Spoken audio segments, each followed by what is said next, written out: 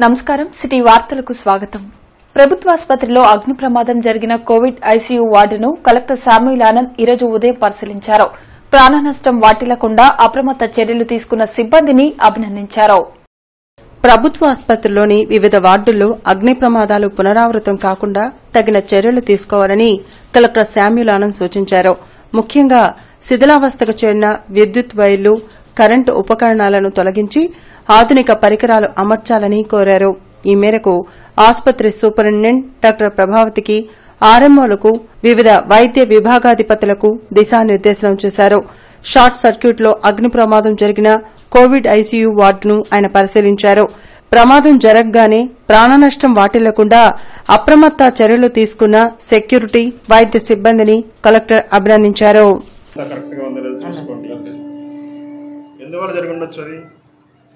మామూలుగా అట్లా అవదే ఫ్లక్చుయేషన్ కొంత ఫ్లక్చుయేషన్ ఫ్లక్చుయేషన్ ఎందుకు ఉంది మరి? టీబీ బోర్డ్స్ అన్న ఫ్లక్చుయేషన్ ఎందుకు ఉంది ఎంసీబీ ఉంది కదా. ఎంసీబీలు అన్నీ ఉన్నాయి కదా. ఎంసీబీలు ఉంటే మరి ఎందుకని ఫ్లక్చుయేషన్ ఆఫ్ అవ్వాలి కదా అంటే ల్యాబ్లో లోడ్ ఎక్కువ ఉండడం వల్ల సప్లై ఆఫ్ అయిపోయింది సార్. ల్యాబ్ లోడ్ టెస్టింగ్ చేయలేదా? అంటే జనరల్గా సెక్యూరిటీ ఆఫీసర్ సార్ ఎక్కడ నుంచి చూసారు మేము కింద అప్పుడు అందరినీ డ్యూటీకి పంపించి కింద మేము వాళ్ళకి నైట్ వాళ్ళకి చెప్తుంటున్నాను అప్పుడు ఫైర్ అయింది సార్. కింద నుంచి కనపడింది sir. Covid lab outside కారిడార్లో ఆ ఎంసీడబ్ల్యూ ఆ డీపీ బోర్డు చిన్నది కాలిపోయి పైన ఆక్సిజన్ లైన్ మెల్ట్ అవ్వడం జరిగింది. దానివల్ల కొంచెం మంటలు రావడం జరిగింది. మన సెక్యూరిటీ సిబ్బంది అలాగే ఈ నాట్కో సిబ్బంది కూడా కొంతమంది ఇమీడియట్గా అలర్ట్ అయ్యి వెంటనే ఫైర్ ఎక్స్టింగ్విషర్ తీసుకెళ్ళి ఆర్పివేయడం జరిగింది. అలాగే ఆక్సిజన్ సప్లై కూడా ఆ పర్టికులర్ బ్లాక్ కట్ చేయడం జరిగింది. వాళ్ళందరినీ పేషెంట్స్ని షిఫ్ట్ చేయడం జరిగింది. అదృష్టవశాత్తు ఎవరికి ఏమీ అపాయం జరగలేదు. అందువల్ల ఇవాళ అందరినీ ఎంఎస్ఐడిసి వాళ్ళని ఎలక్ట్రిసిటీ వాళ్ళని ఫైర్ సేఫ్టీ వాళ్ళని వాళ్ళందరినీ పిలిపించి మొత్తం హాస్పిటల్ అంతా చెక్ చేయమని చెప్పి ఆర్డర్ ఇవ్వడం జరుగుతూ ఉంది. వాళ్ళంతా చెక్ చేసి ఒక రిపోర్ట్ ఇస్తారు. దాన్ని బట్టి మనం తదుపరి చర్యలు తీసుకోవచ్చు. మతాన్ని అడ్డుపెట్టుకుని కొందరు రాజకీయ లబ్ది పొందేందుకు ప్రయత్నిస్తున్నారని సిపిఐ జిల్లా కార్యదర్శి జంగాల అజయ్ కుమార్ ధ్వజమెత్తారు. మీడియా ప్రతినిధుల సమావేశంలో మాట్లాడారు. వైసీపీ నాయకుడు ఇళ్ళ పట్టాల పేరుతో రాజకీయ దోపిడీకి పాల్పడుతున్నారని సిపిఐ జిల్లా కార్యదర్శి జంగాల అజయ్ కుమార్ మండిపడ్డారు. నూట తొంభై ఆరు నూట తొంభై ఏడు నూట తొంభై ఎనిమిది జీవోలను ఉపసంహరించుకోవాలని ఆయన డిమాండ్ చేశారు. ఈ జీవో కాపీలను ఈ నెల పదమూడవ తేదీన భోగిమంటల్లో వేసి దగ్ధం చేస్తున్నామన్నారు. దేవాలయాలపై దాడులు చేసిన వారిని గుర్తించడంలో ప్రభుత్వం ఘోరంగా విఫలమైందన్నారు. ఈ సమావేశంలో సిపిఐ నాయకులు కోటా మాల్యాద్రి ఈశ్వర్రావు తదితరులు పాల్గొన్నారు. రకరకాల పన్నులు వేసేటటువంటి దానికోసం కేవలం మూడు వందల నలభై నాలుగు కోట్ల కేంద్ర సహాయం కోసం మూడు సంవత్సరాలకి ముప్పై వేల కోట్ల భారాన్ని ప్రజలపైన మోపేటటువంటి దారుణానికి ఈ రాష్ట్ర ప్రభుత్వం అడిగట్టింది గతంలో ఆస్తి పన్ను చాలా తక్కువ సింపుల్లో మినిమైజ్ అయి అద్దె ఆధారంగా రెంటల్ వాల్యూ ప్రకారం ఉండేది. కానీ ఇవాళ స్థలం విలువ ఆ స్థలంలో కట్టిన కన్స్ట్రక్షన్ విలువ అలాగే దాని మీద వచ్చే అద్దె విలువ ఈ మొత్తం కలిపి లెక్కేస్తే గతంలో మూడు వేలు ఉన్నది ముప్పై వేలు అవుతూ ఉంది.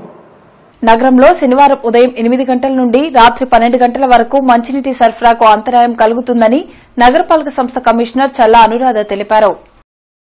నెహ్రూ నగర్ వాటర్ ట్యాంకుల నుంచి లక్ష్మీపురం వాటర్ ట్యాంకులకు వెళ్ళే ప్రధాన పంపింగ్ లైన్కు మరమ్మతులు చేస్తున్నట్లు తెలిపారు.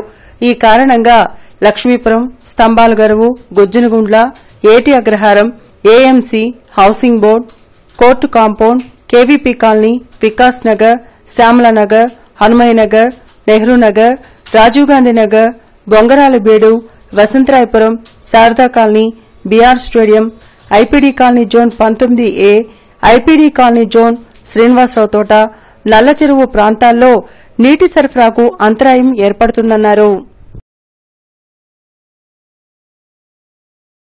మూడు వందల ఎనబై ఏడు రోజులుగా దీక్షలు చేస్తున్నా సీఎం జగన్ పట్టించుకోవడం లేదని పెదపరిమి రైతులు ఆవేదన వ్యక్తం చేశారు. అమరావతిని ఏకైక రాజధానిని చేయాలంటూ రైతులు వినూత్న రీతిలో మూడు వందల ఎనబై ఏడు రోజులుగా నిరసనలు దీక్షలు చేస్తూనే ఉన్నారు. భూములిచ్చి రోడ్డున పడ్డామంటూ రైతులు తమ గోడును వెళ్ళబోసుకున్నారు.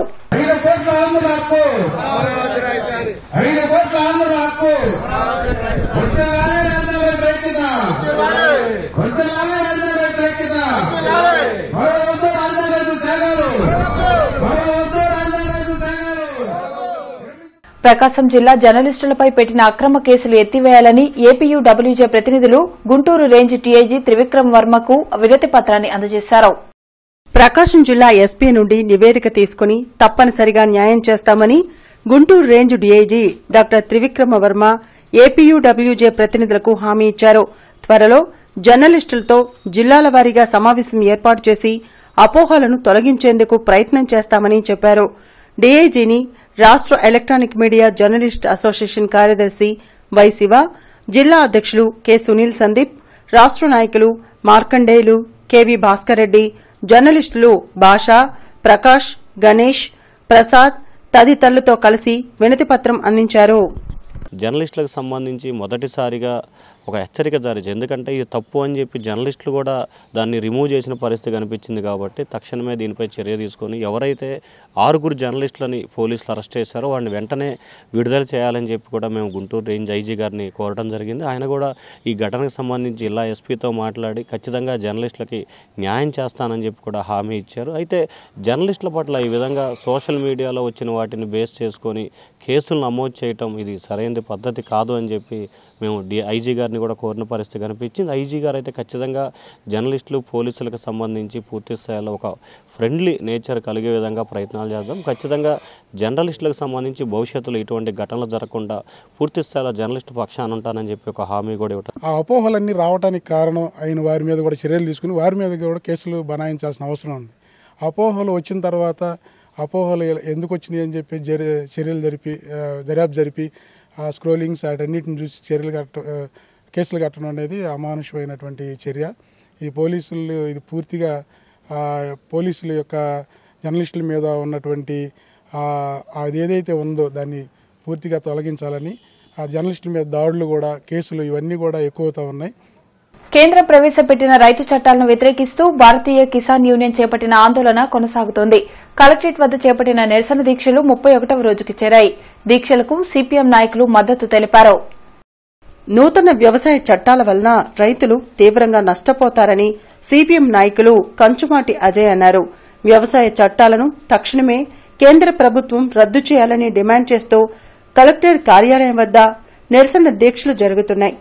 ప్రధాని మోడీ తీసుకున్న నిర్ణయాలు కార్పొరేట్ శక్తులకు ఉపయోగపడే విధంగా ఉన్నాయని ధ్వజమెత్తారు.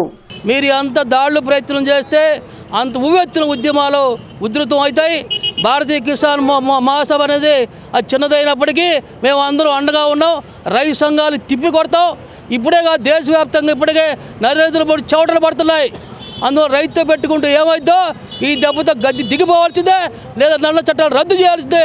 ఏదో ఒకటి తేల్చుకోమని చెప్పి ఇక్కడ గుంటూరు జిల్లా ఉన్న బీజేపీ నాయకులు కూడా మేము రైతు సంఘాలుగా హెచ్చరిక చేస్తున్నాం.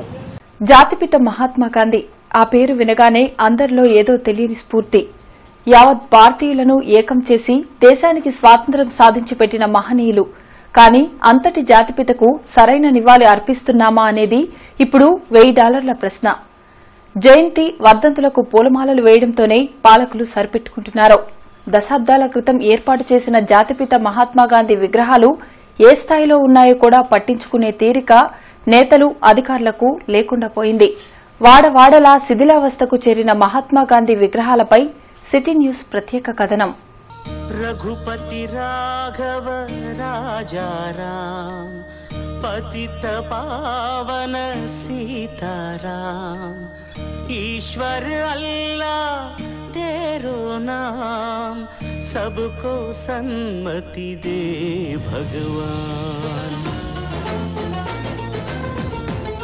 ఈ విగ్రహాలను ఒక్కసారి చూడండి ఎప్పుడెప్పుడు కూలిపోదామా అని సిద్ధంగా ఉన్నాయి కదా ఇంతటి మహనీయుల విగ్రహాలను ఈ దుస్థితిలో చూస్తుంటే ఎంత అవమానకరంగా ఉందో కదా వేగవంతంగా అభివృద్ధి చెందుతున్న దేశం అంతే వేగంగా అభివృద్ధి దిశలో పయనిస్తున్న గ్రామాలు పట్టణాలు నగరాలు. ఏ వీధిలో చూసినా ప్రముఖుల విగ్రహాలు. ఏ కూడలిలో చూసినా తలెత్తుకుని పైకి చూసేంతటి భారీ విగ్రహాలు దర్శనమిస్తాయి. వివిధ రంగాలకు చెందిన ప్రాముఖ్యతను వివరిస్తూ ప్రముఖుల విగ్రహాలను ఏర్పాటు చేయడం ఆనవాయితీగా మారింది. లక్షలు వెచ్చించి అతి పెద్ద విగ్రహాలు ఏర్పాటుకి పాలకులు నిరంతరం కృషి చేస్తున్నారు.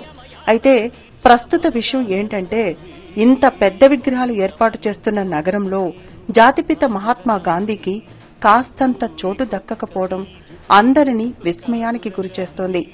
ఇందుకు నిదర్శనమే గుంటూరులో కనిపించే గాంధీ విగ్రహాల దుస్థితి. అనేక ప్రాంతాల్లో ఎప్పుడో దశాబ్ద కాలం నాడు మహాత్మా గాంధీ విగ్రహాలను ఏర్పాటు చేశారు. ఆనాడు విగ్రహాల స్థాపనతోనే పాలకులు చేతులు దులుపుకున్నారు. జాతిపిత విగ్రహాలు ప్రస్తుతం ఏ పరిస్థితుల్లో ఉన్నాయో ఒక్కసారైనా చూసిన పాపాన పోవడం లేదు. ఆకతాయిల చేష్టలకు అనేక చోట్ల విగ్రహాల్లో గాంధీ చేతిలోని కర్రలు మాయమైపోయాయి. మరికొన్ని విగ్రహాలు ధ్వంసమై కూలిపోయే స్థితిలో ఉన్నాయి. గాంధీ జయంతి వర్ధంతి లాంటి కార్యక్రమాలకు హాజరయ్యే నేతలు అధికారులు పూలమాలలు వేసి నివాళులు అర్పించడం చేస్తూ ఉంటారు. ఒక్కరోజు జాతిపితకు నివాళులు అర్పించడంతోనే వారి పని అయిపోయినట్లుగా భావిస్తారు. కార్యక్రమాల అనంతరం జాతిపిత విగ్రహాలు ఏ దుస్థితిలో ఉన్నాయో కూడా చూసే నాదుడే కరువయ్యారు.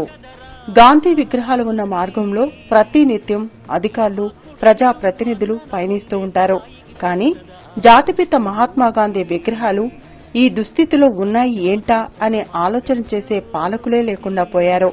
ఇలాంటి ఘటనలు చూస్తుంటే జాతిపితకు మనం సరైన గౌరవమే ఇస్తున్నామా?